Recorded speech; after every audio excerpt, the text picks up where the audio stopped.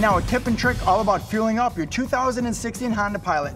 Check it out, there's no gas cap. Honda went capless, which is awesome because there's no gas cap to leave at the gas station.